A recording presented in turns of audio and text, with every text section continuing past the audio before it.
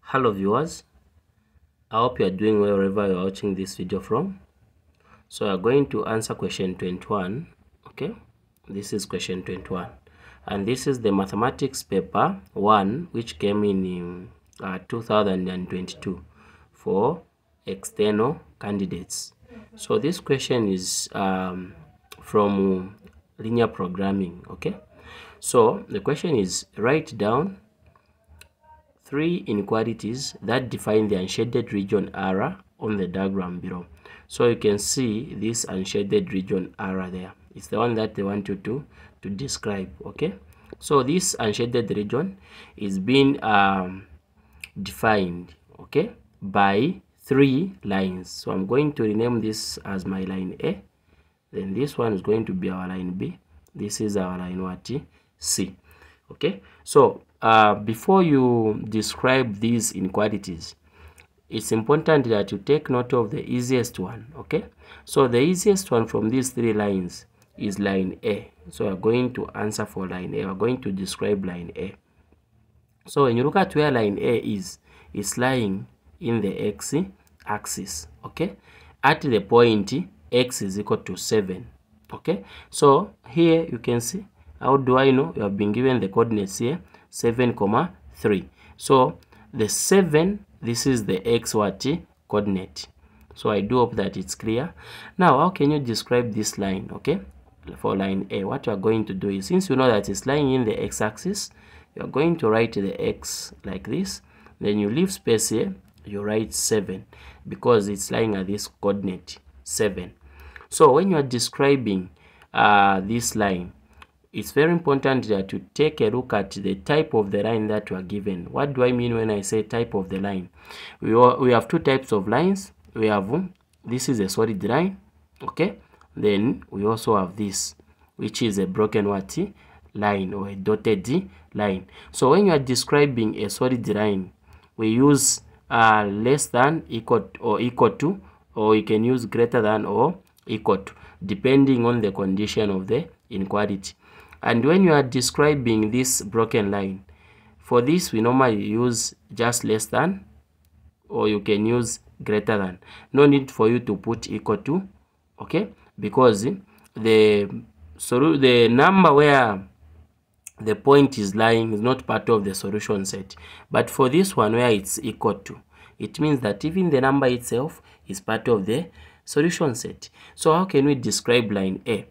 What type of a line do we have? we can see there that we've got a broken what line okay so the question is define um, write down the three inequalities that define the unshaded region that define the unshaded region so when you look at this line a the shaded region we are having numbers that are greater than 7 okay but the unshaded region we are having numbers that are less than 7 so we describe using the opposite okay? The opposite of uh, this line we are using the unshaded part which is less than. So x is less than 7 that is the answer for line a okay? X is less than 7 so i've used the opposite the unshaded part. That's the one i've used to define this inequality so now let's look at the other lines now when you look at line b and line c okay the easiest one again that we can go for is line C. Okay. Why am I saying line C? Why am I saying line C? Because line C, this is the line y equal to what? Uh, x. This line C is the line y equal to, to x. So I'm now, uh, I want to define or describe line C. So since we have said this is the line y equal to x, so you write y okay? You leave space and then you write x. So how can we define this line c? So look at where it's shaded. The upper region is shaded on the upper region. So the upper region is greater while the lower region is less. So we are describing it using the what the lower region which is less so we are going to say y is less than or equal to x. Why am I saying less than or equal to x?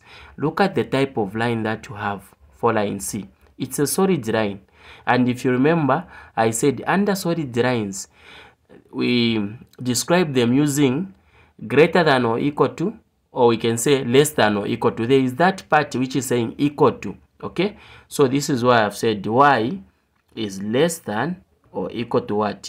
X. This is for line c. Now we can come to line what? B. We can come to line b. So i'll erase this part just to create space. Okay remember this is a video. If you want to go back you you do a rewind then you see where you are not clear. Okay now we have come to remember we are remaining with our line b. We said this was our line b. So to answer line b you can see where it's passing. First thing take note of the coordinates. You have this 7,3 and you have this coordinate which is 1 comma 1 okay for this line b. So what are the coordinates? What are the coordinates? We have 1 comma 1 then we also have 7 comma 3 so first thing rename your coordinates. So this first coordinates here is going to be x1 then this one is going to be y1 for 7 there x2 then this one for 3 is going to be y2 so what's next now after this?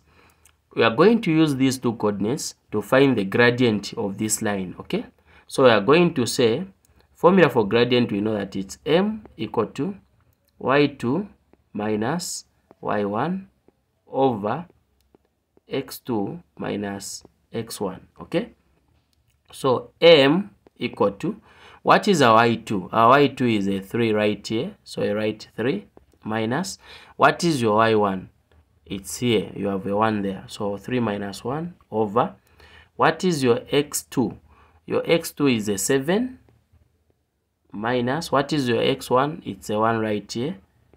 So uh, 3 minus 2 sorry 3 minus 1 you are going to get a 2 over 7 minus 1 you are going to get a 6 so from here you can simplify your gradient there because you have 2 over 6 so the highest common factor of 2 and 6 it's a 2 2 here 1 2 into 3 sorry 2 into 6 3 so our gradient is 1 our gradient is 1 over 3 so remember you can see this uh, just to describe the three inequalities is carrying 5 marks okay?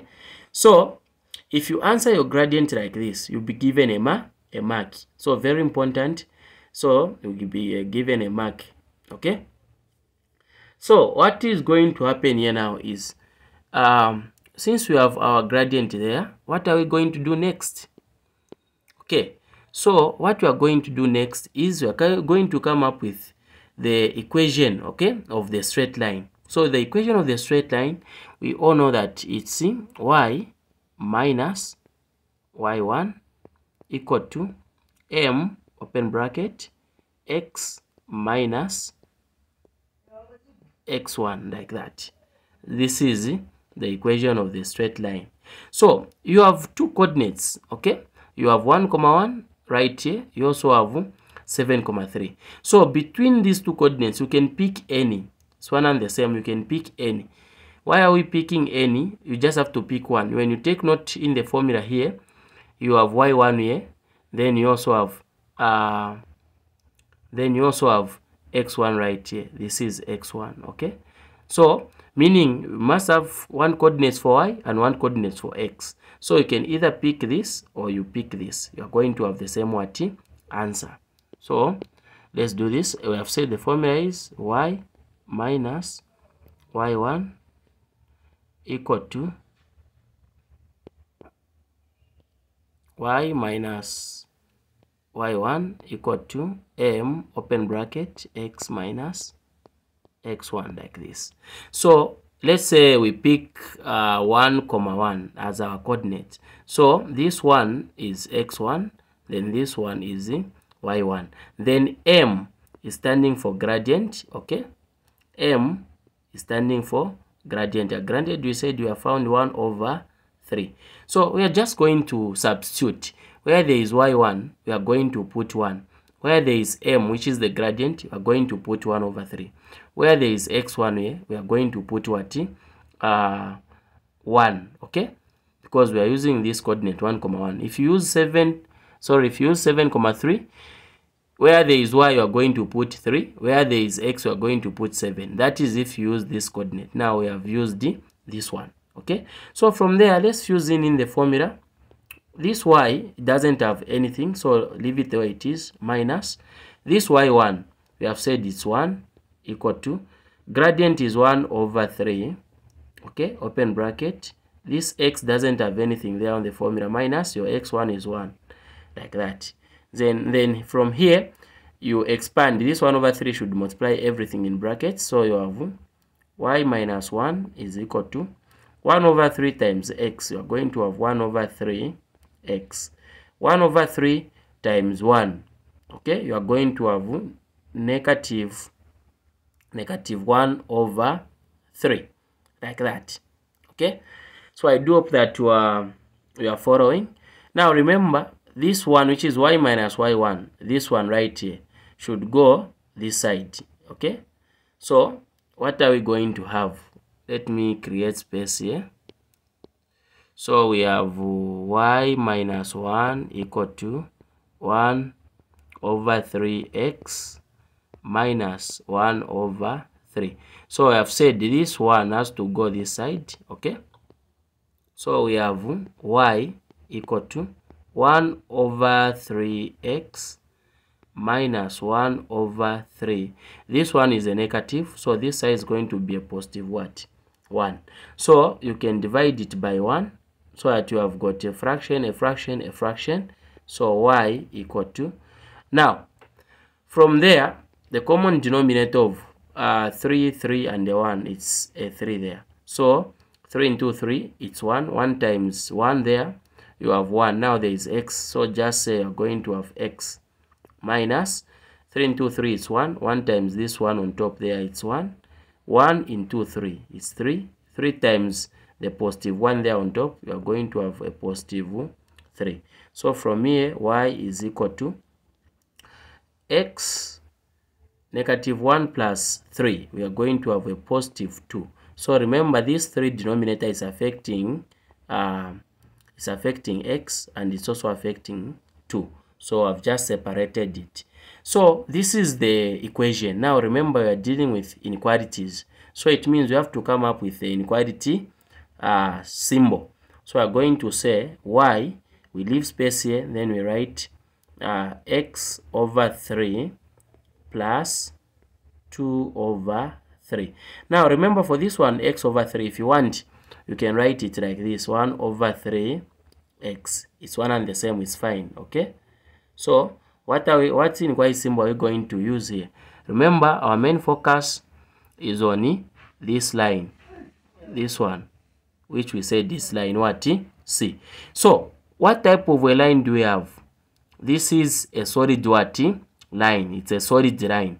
So if it's a solid line we understand that we can we are going to use either greater than or equal to or less than or equal to. Now let's look at where the shaded part is. The shaded part remember i said the upper region is greater while the lower region is less so the shaded part is less. So we are going to describe this inequality using the opposite which is the unshaded part. So the unshaded part is greater or equal to because the line is a solid one. So y is greater or equal to x over 3 plus 2 over 3 so this is our answer. Thank you so much everyone for viewing this content. If you have any question feel free to inbox me or you leave um, a comment in the comment section. If you're watching this video on youtube or if it's on tiktok you leave the comment there. I will be able to to reply. If it's on facebook you also feel free to leave the comment there. Thank you